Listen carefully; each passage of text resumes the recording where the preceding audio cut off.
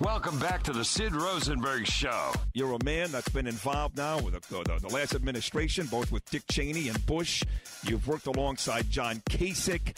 Uh, you've taught at Harvard. My new buddy, Ron Christie. What'd you think about the whole disaster with Kelly? I'm sorry, Ron Christie. When you talk about a woman being bitchy and she's bleeding, you're talking about the vagina. Let's be honest, okay? So I don't believe Donald. Hey. I think he lied there. Well, what do you think? You think, you think he told the truth? No, look, you and I both know who's in charge in the relationship, and it's not us. I'd come home and said that same thing to my wife. Are you kidding me? No way. I probably wouldn't be talking to you now if I'd said that earlier. No way. Are you kidding me? Right. It's Sid Rosenberg on 640 Sports. Newly released emails show Hillary Clinton and her State Department staff were sometimes frustrated when they couldn't share classified documents over her private internet server. The department is in the process of releasing about 30,000 messages after it was discovered that Clinton used her home based server for official business while Secretary of State. Nancy Cordes went through the latest batch. The 4,400 emails reveal a Secretary of State who was deeply engaged in the minutiae of diplomacy and fascinated by Washington intrigue. Gefilte fish, where are we on this? She asked a pair of aides in 2010. The seemingly cryptic email referred to nine containers of carp caught up in a trade dispute. From longtime confidant Sidney Blumenthal, she got critiques of DC power brokers. Then White House senior advisor David Axelrod has enough to do fixing the domestic messes he's made. House Speaker John Boehner, he wrote, was an alcoholic and lazy. Boehner's office responded in a statement today, saying the only reason this mishandling of classified information has been exposed is because of Speaker Boehner's decision to create the Select Committee on Benghazi. 125 of the emails in this latest batch have been retroactively marked classified because the information in them is now considered too sensitive to release to the public.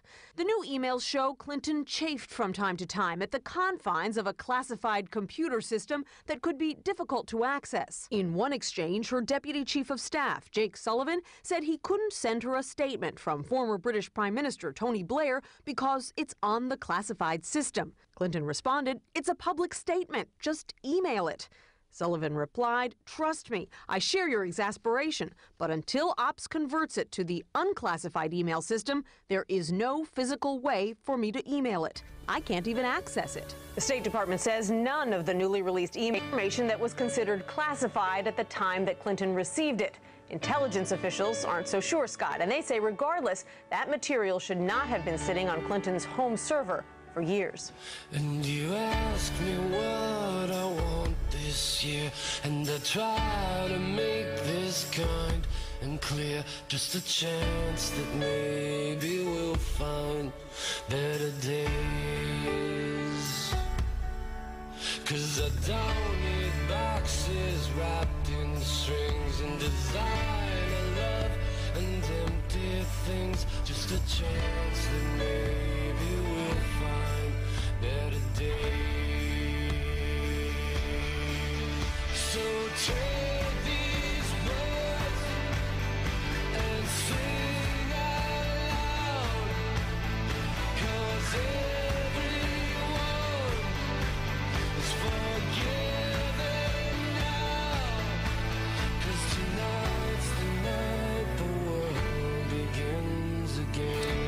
Scott Pelley, CBS last night, doing the story on Hillary Clinton. Remember way back when, when it was a kind of a fait accompli, right? That it was going to be Bush and Clinton again, Hillary Clinton and Jeb Bush. My next guest, well, I love this guy. I met him once.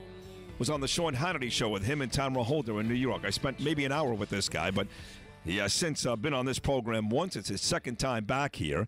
He's worked alongside Dick Cheney, George Bush, John Kasich, taught at Harvard, now teaches at Georgetown. He's a really smart guy. And he's African American and he's conservative, which is something you don't find all that often. He's become one of my favorite guests. And uh, here he is, Ron Christie. Good morning, Ron. How are you, pal? Sid, good to talk to you, my man. Good to be with you. Great to have you back. Before we get into the whole Clinton thing there and Jeb Bush, I just uh, received a note on my desk, Ron. It reads this. The Democratic uh, Party is bringing Joe Biden down here to South Florida. He'll be at the JCC in Davie, Florida, which is about 45 minutes south of where I am now, maybe an hour. And he's coming here, you can't make this up, uh, along with Debbie Wasserman Schultz to try to sell this Iranian deal to Jews. And I said this before, Ron. If you're a Jew, whether it's Schultz or the latest guy, Nadler, up in New York, and you're okay with this deal and voting for this deal, as far as I'm concerned, uh, you're not. It, it's anti. It really, to me, it's anti-Semitism at its highest level. What are your thoughts on that? Couldn't agree with you more. I mean, you, you're talking about a regime that, uh, as this deal was being negotiated, was chanting "death to America, death to Israel." You're talking about a regime who seeks to eradicate the very existence of the Jewish state. You're talking about our strongest ally in the region, Israel, and their steadfast commitment to democracy, their steadfast uh, commitment to uh, accept those who are fleeing from religious persecution. And this administration dares to free up to $100 billion to the largest sponsor of terrorism in the world. and Debbie Wasserman Schultz and Biden are trying to sell this deal. They should be trying to torpedo this deal because it's bad for America, it's bad for Israel, and I think it's going to lead to World War III with a nuclear Middle East. See, here's my issue. I understand, even though it's disgusting and it's gross and it's reprehensible, why Debbie would do it because she's got something to gain politically. Who knows what Obama promised her or Nadler in New York or Biden for that matter, but for the average guy on the street, the guy living in Boca Raton, the guy living in, in D.C., where you are, Ron, or New York, a Jewish guy who goes to temple on Saturday, how does that guy, who's got nothing to gain politically from this creep Barack Obama, how does that guy vote, uh, vote, vote is okay with that deal? Well, because they say, oh, you know, Obama's trying to do something that Bush couldn't do, Clinton couldn't do. This is historic. You know, we're finally going to have the mullahs in check. When the reality check of this, that as you very well know, you can't have a regime in place that decides to inspect themselves. And that's exactly what the Iranians are going to do. They have 24 days to be notified of when they will have an inspection. And then, oh, by the way, the samples that they will give of the soil are collected by the Iranians themselves. So the average guy in the streets looking at this thinking, oh, Obama's just so wonderful. Oh, Obama, Obama. Whereas a more objective person would say, this is so terrible for the United States and so terrible for the Middle East. This may be the worst deal. Would you say this is the worst deal in your existence? I don't know how old you are. About my age, probably, right? Maybe 30s or 40s. The worst deal you've ever seen? Yeah. I'm 46. Okay, so you're, yeah, you're two years younger than me. Worst deal you've ever seen, ever? No, actually, I think the worst deal I've ever seen was the appeasement uh, by Neville Chamberlain Yeah. uh, back in 1938, Right. uh, thinking that he'd come back with a deal to preserve the peace for all time with Hitler, of course, which led to World War II. And by the way, you, Um, you, you said that this Iran deal was analogous to that, and Chris Matthews uh, chewed your ass out on MSNBC for saying that. He did, which, you know, as much as I like Chris Matthews, uh, you know, any uh, comparison to the anointed one to a weak failed leader with uh, a weak foreign policy, uh, Chris couldn't handle that. And the truth of the matter is, is that Obama is trying to negotiate a deal from a position of weakness. So, as you know, for goodness sakes, a vast majority of the American people oppose this deal. The vast majority of the people in the House of Representatives and a number of the majority of the United States Senate oppose it. So Obama's doing this for Obama. He can't say he's doing it for the American people who reject his fecklessness. I have a good buddy of mine. He's in sports, Ron Christie, up in New York. His name is Andrew Rosario. And I feel like I have to uh, preface it by saying he is African American. And he was angry with me last night because I was taking Obama to task on a host of issues, Ron. The Iran deal, the racial tensions in this country, his failed foreign policy, the bullcrop numbers about uh, unemployment. That's not really indicative of where we are in, in our in our job market today. So many things that I think he has failed this country on. And he said, Sid, you, you got to wake up, man. This guy's going down as one of the great presidents of all time. And he listed two or three things that he thought Obama's done a really good job on. Uh, what am I missing here? What, what, what is what is the left? What are these liberals trying to convince me of that I just don't see? What am I missing? Well, let's see, you're missing, you have 93 million people who are out of the workforce. You have the lowest job uh, workforce participation rate since the 1970s. You have, as you've noted, uh, a, a skewed uh, labor um, market unemployment rate that is, is skewed by the government. We have African American unemployment that's been above 10% for the entire Obama presidency. You have greater numbers of Americans who are in poverty since he came into office in 2009. And the list goes on and on. this has nothing to do with the color of his skin. It has to deal with his lack of competence of Yeah. understanding Yeah. about leadership and how government works. Well, let me talk about the color of his skin, though, for a second, because that has come up here. And what, what has been said, Ron, and uh, whether it's fair or unfair, that's what you're here to tell me, is Michael Brown wasn't a good kid, okay? And uh, but he was there for him, Barack Obama, and in fact made sure that guy Wilson never worked again. And listen, Zimmerman is a piece of garbage. We know that, but Trayvon Martin wasn't a good kid. And it just seems like every time one of these events happens, and an African American is uh, is is a victim here, I guess you can say, that Barack Obama is there. But when a white officer is gunned down execution style at a gas station in Texas on Saturday, he's more interested in renaming a mountain in Alaska. That may be unfair, but I will tell you that is the contention and now uh, conventional wisdom of a lot of white folks and some black in this country. Is that unfair or somewhat accurate? No, it's not unfair. I think it's very accurate. You know, Obama sent several representatives to, to Michael Brown's funeral, uh, a criminal who attacked a police officer. Uh, there is no evidence whatsoever that race had anything to do with that. And yet, you have this Black Lives Matter, this garbage, this nonsense that has arisen across the United States where they say, you know, cops should, should uh, pigs should fry like bacon. And what do we see? We've seen 25 police officers murdered this year, and the president is largely mum and not there at all. You have Kate Steinle, a poor girl from my beloved hometown of San Francisco, who is killed by a illegal immigrant who had been deported several times. Why? Because Obama supports sanctuary cities. And so this president is more interested in looking at people based on the color of their skin or their victim status rather than equally applying the law, say, to all of us, regardless of our, our ethnicity, our skin color, and say, we're Americans. We all deserve to be treated the same. What does your family say? I mean, I, again, Ron Christie, you're, you're uh, African American. Your family, for the most part, if not all, Democrats, which is normal. All of them. They, they, they, are they not? When they hear you say something like this, do they get furious with you? Oh, they pull their hair out, and, and you know they're they're they're down your way. They're in Siesta Key, and I tell you, uh, I grew up as a Republican not because everybody else who was black in my family was a Democrat, but because those are the ideas that I believed in. And my my family was looking at me, they're like, well, you know, ninety something percent of African Americans are Democrat. And I say, I'm not African American. I am a Californian first. I'm an American second, Right. who happens to be black. Right. Period. Right. Right. No, they say the same thing about the Jews. I mean, the, we we have been uh, Democrats for forever, forever and ever. And listen, I'm not I'm not a Republican either. You really are compared to me. You're much more conservative. I am very liberal uh, when it comes to social views, but I'm certainly not a Democrat either. I just wonder when we'll get to the point where it's going to be enough of well, black people are mostly Democrats and Jews are mostly Democrats, and when we get to the point, Ron, when people start to figure out what's really duty and what's really Godiva chocolate, if you know what I mean. Boy, I love that analogy. well, I think it's going to take a different leader with a different tone who reminds us, and I, I, I hate to say it, but it reminds me of Ronald Reagan, who was always optimistic, had a, had a sunny disposition, always believed in the best in America, as opposed to this president who is petty, petulant, and believes that just because you're a certain color or you're a certain uh, faith that you're a victim. And this victimization of Americans, I think, more than anything else, being told that if you act out, if you are irresponsible, that it's it's Whitey's fault. It has done so much destruction to this country in the last eight years that we just need to turn the page and get a new leader with a new set of fresh ideas that reminds us of why we live in the greatest country in the world. And two of those people, Ron, I think uh, a lot of people thought they were the consensus to win. Uh, Bush Clinton all over again, right? Hillary Clinton, she's going to win the left by a distance. Jeb Bush is going to win the right. Here we go. And you said to me yesterday, as I spoke to you about this upcoming appearance, uh, that may have been the case way back when. You're at the point right now where you think neither is going to represent their party. Isn't that right?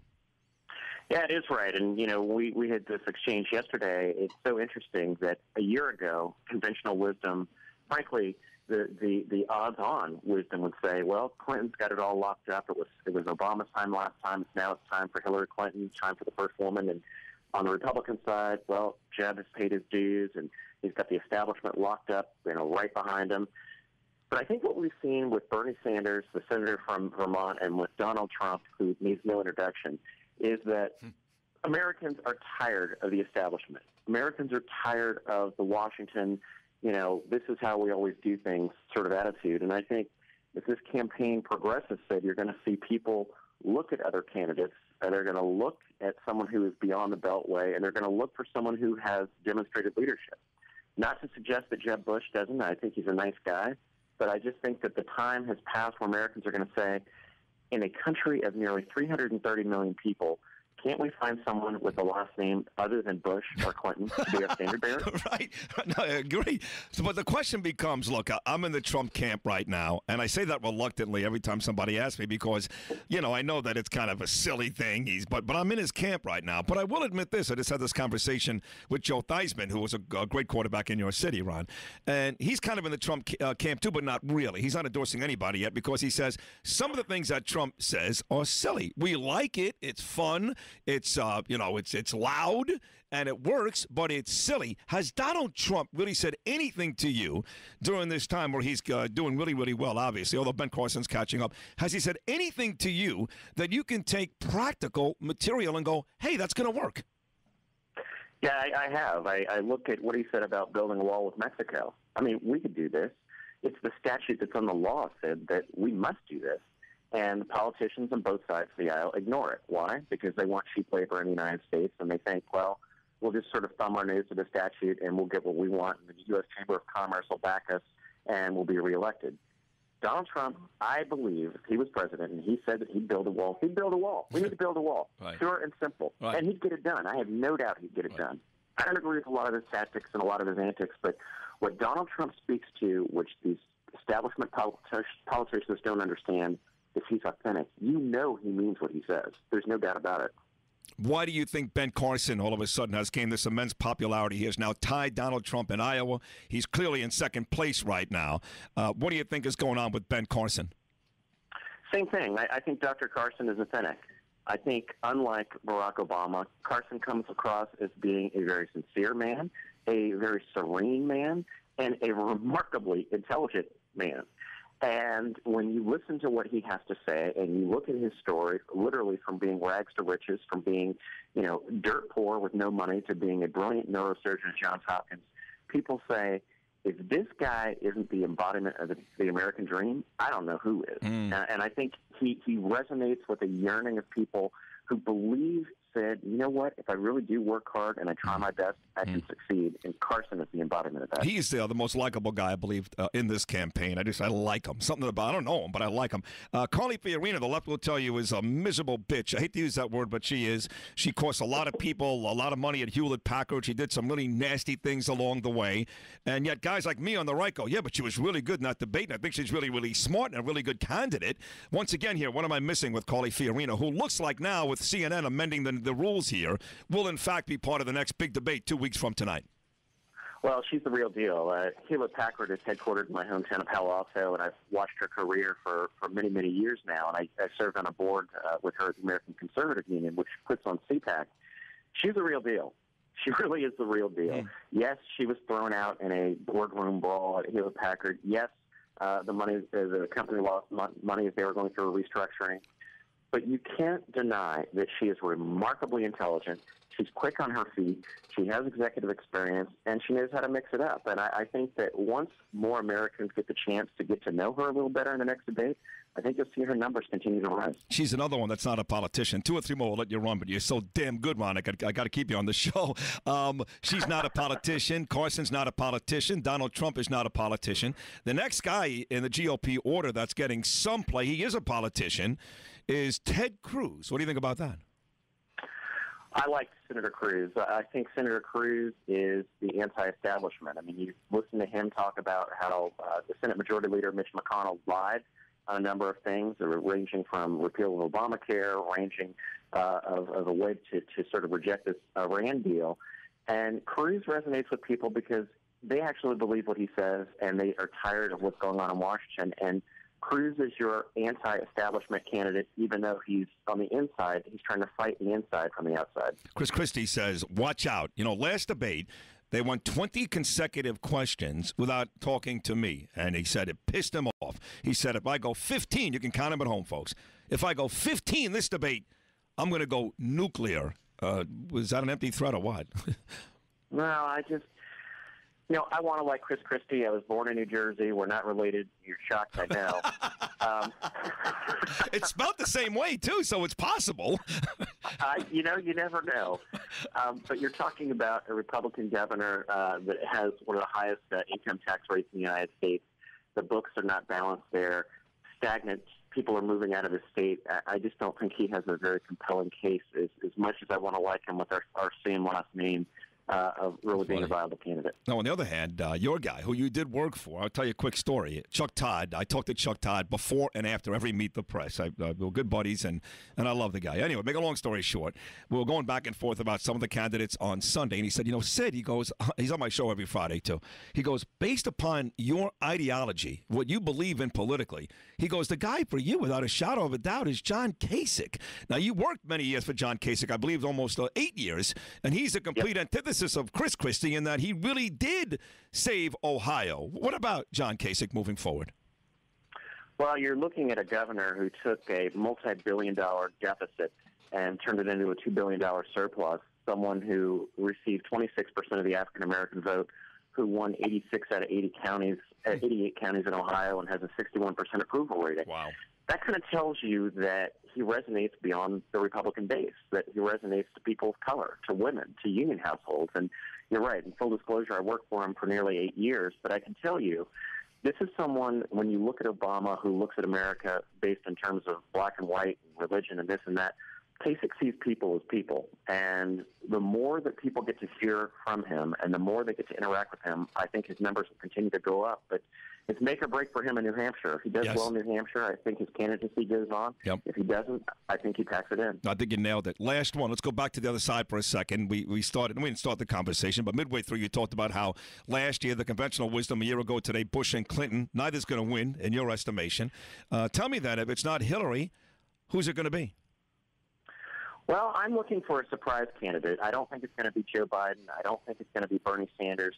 I'm looking for someone who is uh, a governor, not unlike 1992, where we had Bill Clinton come out of nowhere from Arkansas, and someone who's going to catch fire. I'm not quite sure who that is right now, but I, I think the similarities between this election cycle and 1992 are very similar. Yeah. That you're going to find someone who's going to say, you know what, Hillary's not getting it done. Uh, Sanders will really implode. The Republicans will walk away with this. I'm going to get in, and it will change the dynamic. Well, it's not. Listen, now Biden can't beat her. Whether he jumps in or not, he can't beat her. Let's be honest. I don't know about Liz Warren, but I'll give you a name that my good buddy Bernard McGuirk from the Imus show. That's why I met you. Mm-hmm. I, was mm-hmm. doing, I, was working with Bernard that, those couple days, filling in for Geraldo. He seems to think uh, if this Iran deal does go through, and it looks like it may, which is really sickening, that at that point John Kerry jumps in. Your thoughts there?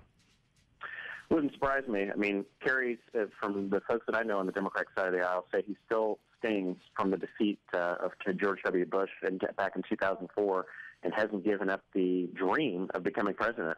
I think Kerry, uh, like the deal or not, and I think it's atrocious as to you, will say I have more foreign policy experience than anybody in the field. I was Secretary of State, I was in the military, and I was in the United States Senate and chair the Senate Foreign Relations Committee.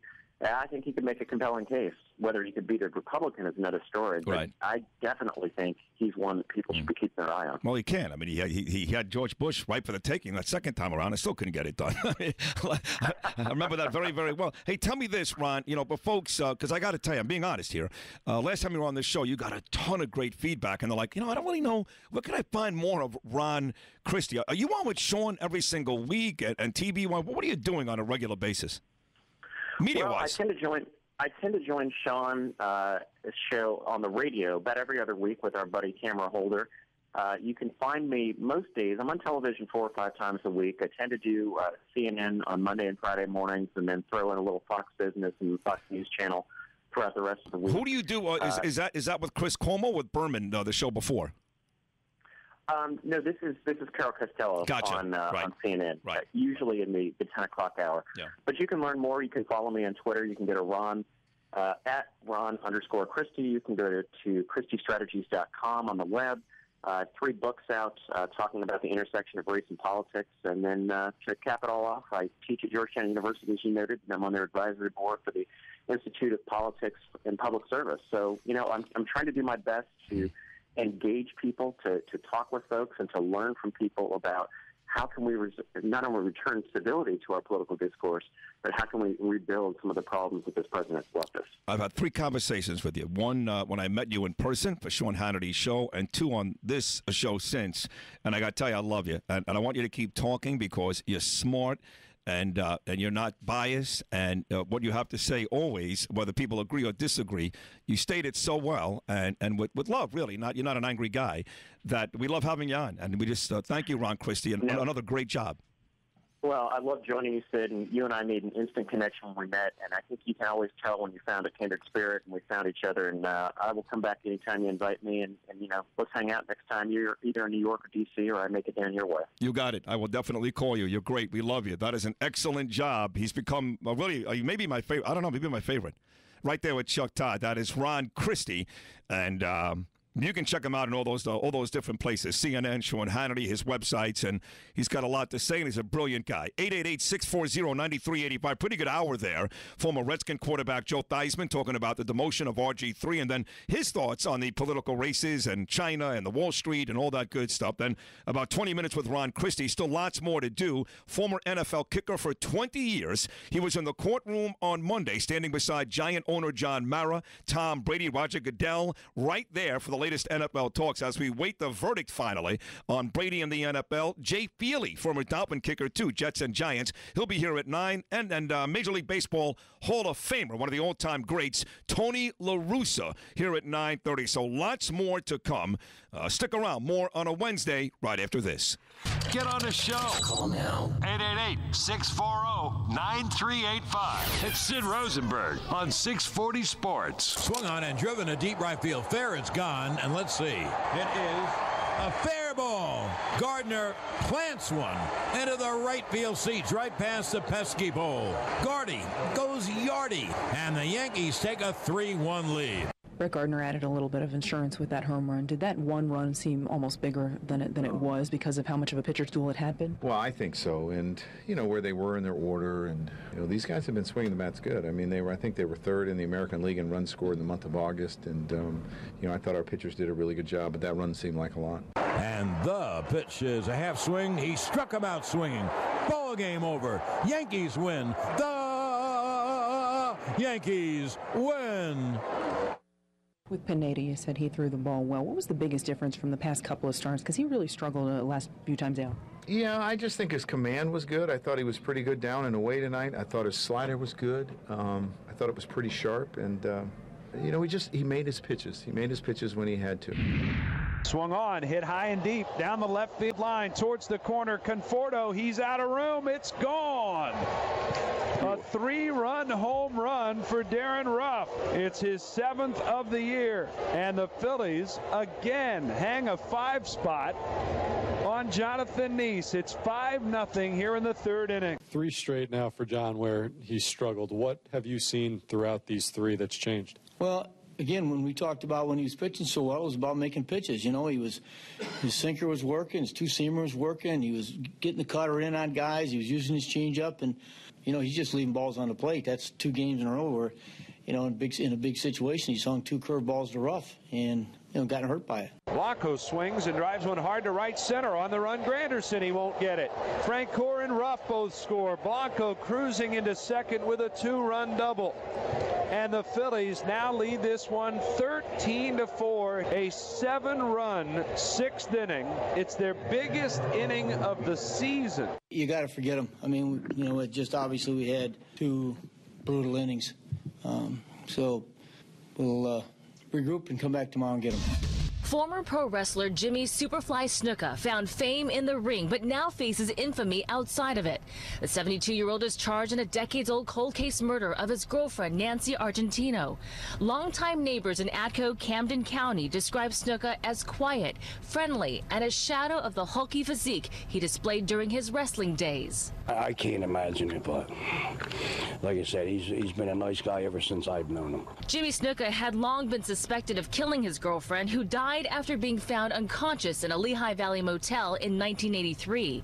Investigators say they reopened the case amid Snuka's conflicting accounts of what happened that night. And that led to a Lehigh County grand jury filing third degree murder and involuntary manslaughter charges against him. Repeatedly assaulted Nancy Argentino on May 10, 1983, and then allowed her to lie in their bed at the George Washington Motor Lodge without obtaining the necessary medical attention. The home he shares with his wife in Atco remained quiet.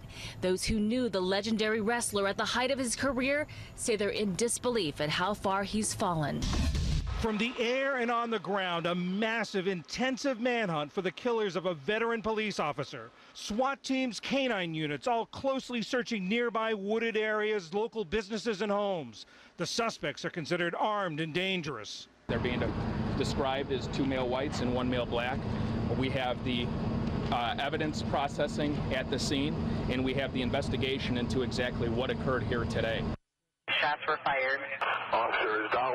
Authorities say the officer was on routine patrol and radioed that he was checking on suspicious activity. He was on a foot pursuit when communication was lost. Moments later, backup arrived. They found the officer shot, his gun and pepper spray gone. The officer, Charles J. Gliniewicz, was a 32 year veteran of law enforcement, a husband and father of four sons. Residents in here knew him as G.I. Joe, and we remember him as someone deeply committed to Fox Lake. His death, a scene that has become all too familiar. This year alone, 84 officers have been killed in the line of duty. That's up 15% compared to this time last year. Many in law enforcement really feel like uh, they're in greater danger now.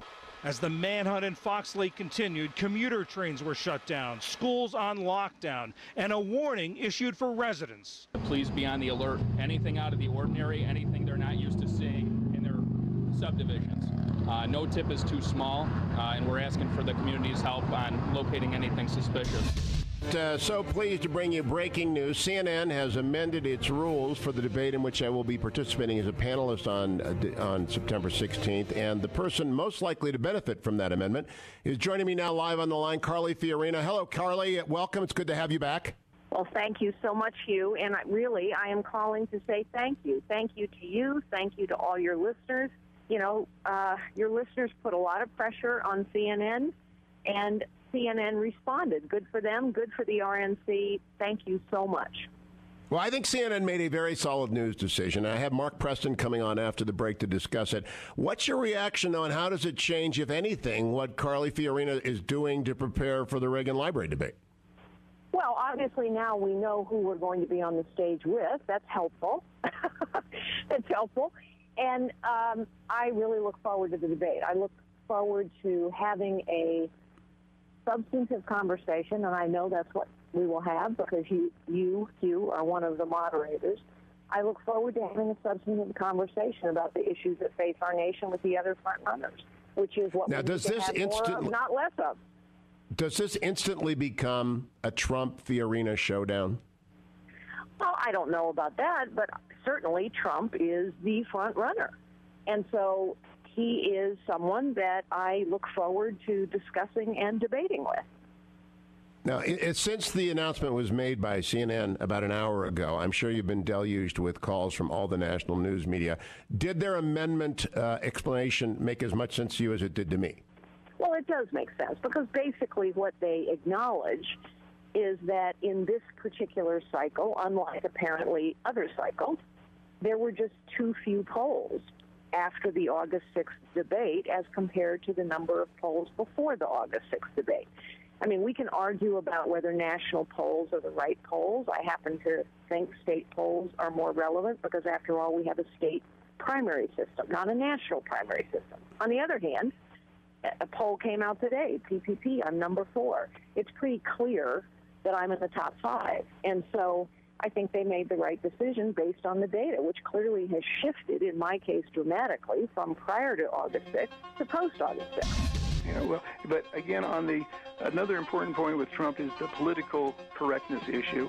Uh, the other candidates uh, are just a little weak on that, particularly uh, Carly. Uh, uh, you know, she jumped in and supported uh, Meg uh, Kelly uh, against Trump uh, uh, and uh, played the uh, you know feminist victim. Well, you know, that's that's the solidarity of the vaginas. Yeah, yeah. Well, we need to fight this political correctness. Oh, into wait a second now. The, the, the vaginas have monologues. we know this. There was a play. All right, bleep it. Let's not even play it. Just, just Mike, just hit the bleep. no, it's not too late. We didn't. We haven't gone anywhere. You telling me it's too late to bleep it now? Anyway, we need to fight political correctness. Mike, are you yanking my chain? You you you weren't able to bleep that? Oh, come on. We've got. I can't give a. You you you just didn't because you wanted that out there. All right. Look at vagina monologues. It's just female solidarity. It's all it was. Everybody knows I'm a big Carly fan, so just lighten up. It's a joke, folks.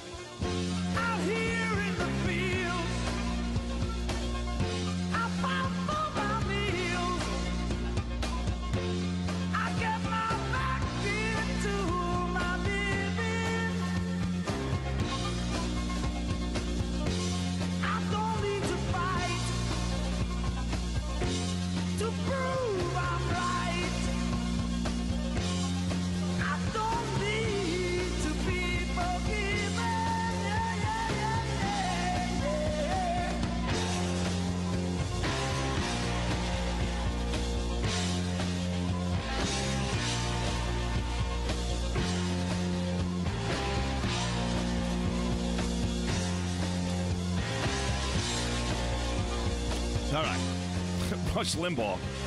I didn't know, like I said, 6 o'clock this morning, I had no idea vagina was a bad word, but I guess Rush Limbaugh was like all freaked out yesterday. you Oh, didn't yeah. dump that mic? I said vagina. I said vagina monologue. And he was panicking. Yeah.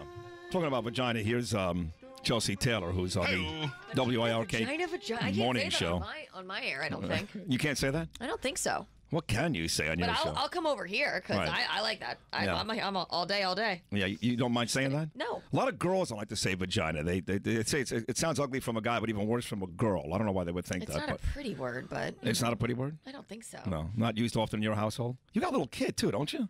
Yes, I don't exactly call my seven-year-old a vagina. I believe I believe parents frown upon it. I, that's what I hear though.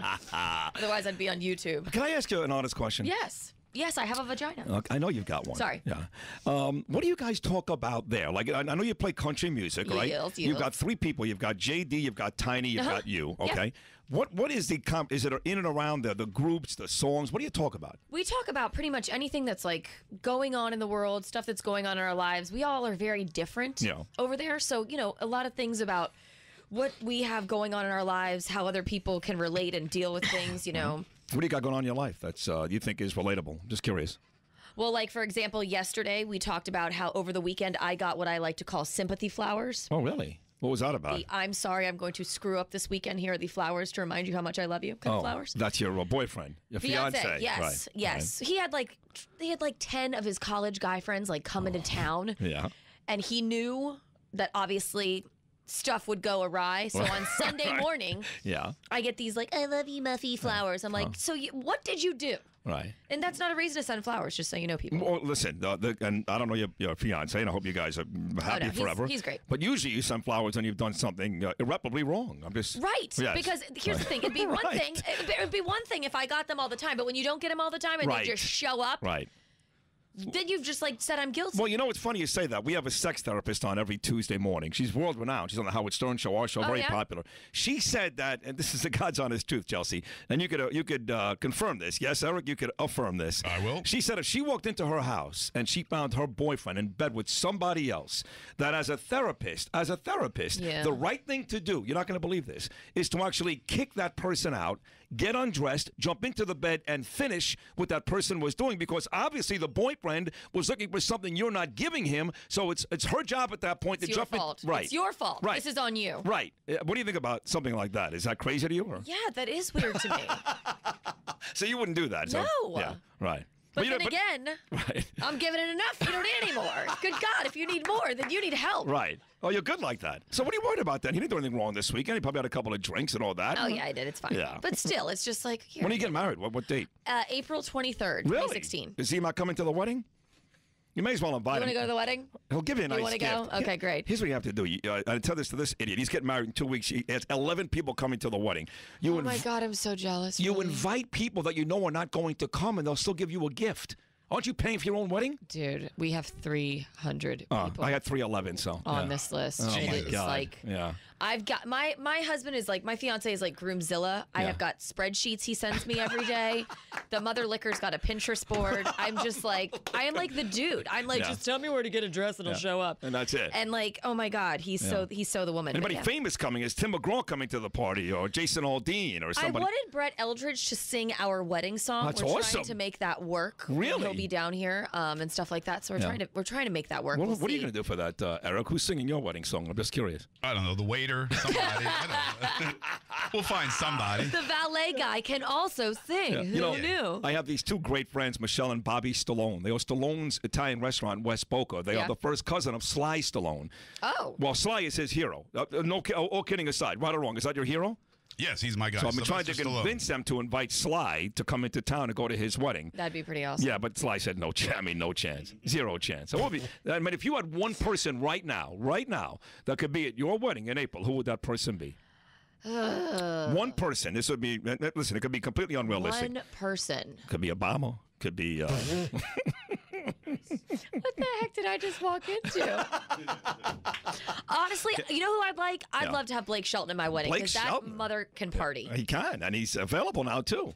I don't Yeah. know. I don't want him like that. That is a threesome waiting to happen right a there. gi- he is a gigantic human being. He's a big boy. And actually, it's funny because my fiance is 6'4". You- He's you- a you- big dude. You know, your fiance kind of looks like Blake Shelton a little bit, weird. to be honest. And he's a big dude. Yeah. But I have a picture of us with Blake, yeah. and it makes Bo look like a little minion. He does, right. Blake looks Yeah. like an alien. Blake's His a big head boy. is ginormous. Yeah, but he's So a cool guy. He looks, he looks like he'd be a lot of fun. He'd be fun. All right. So when is this uh, this big Lady Antebellum? I happen to love Lady Antebellum. When is this big I do concert? too. Honestly, this show took me, but I saw them. I think two years ago they were down at the Hard Rock. Nice. And we went down there like, ah, we're just gonna go check them out. I wasn't like that pumped about it. The most surprising show I've ever seen. That good? Lo- that good. Wow. They are awesome. Really? So they're rolling into town with Hunter Hayes and Sam Hunt. Hunter Hayes is that young kid, the blonde haired kid who can play He guitar sing. like you've never seen. Right, and he's a pretty good singer, Really too. impressive and a Right. great songwriter.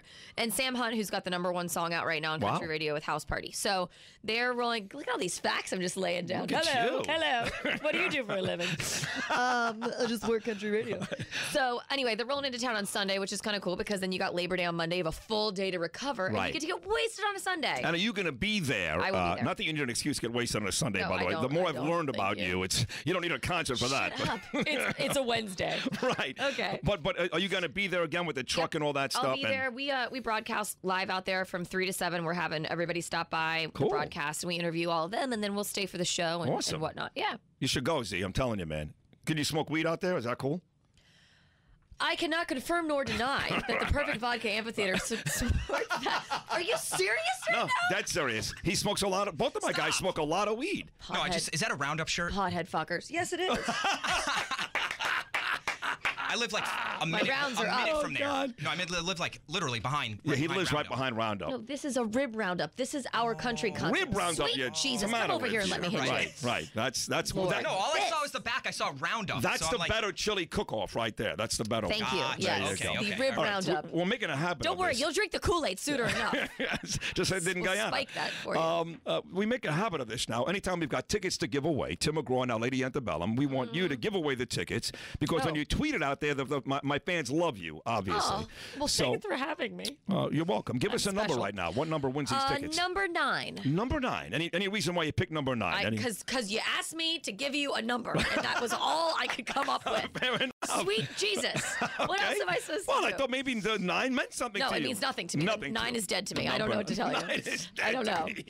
All right. We'll use number nine, and uh, we look forward to the next pair of tickets we're giving away because you're great. So I- thank you. Thank you. I Thank will. you. Uh, the, my bill is in the mail. Okay, Okay. oh Look for your inbox. I'm, I'm sending it. This was five minutes. Perfect. What Okay, is your. Twitter uh, handle too for folks who are At uh, Chelsea Taylor six. Chase- that is such a Why number lie. six? Why- Chelsea why do you- W I R K. I'm sorry, it's Chelsea Okay, W I R K. there you What go. an idiot. uh, Chelsea Taylor six. Uh, six was my lacrosse number in high school, and sometimes you just don't let it go. Right, sure. Yeah, that's why. I know exactly what I you're was saying. an all-American lacrosse player. I like to live in the glory days still, so I still hold on to my number. I got like you. 15 All right. Why don't we make a call us to number six then, then instead of number nine? I did six last time I Oh, was you're, you're right. so God's now you've used six and nine. I'm trying to No big surprise there, Chelsea.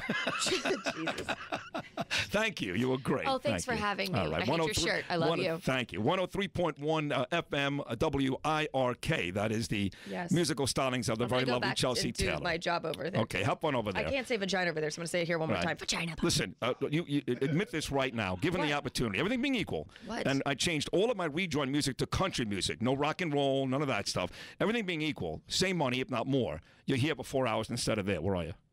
I like you. You see, you're here. I do like you. I hate But- your shirt, but I Right. like you.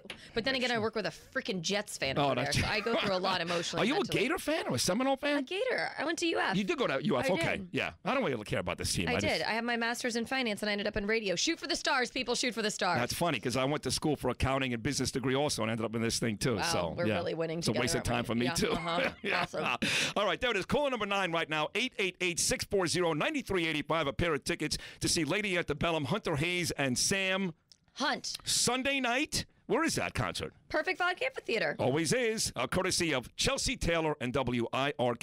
Feely, NFL kicker, next.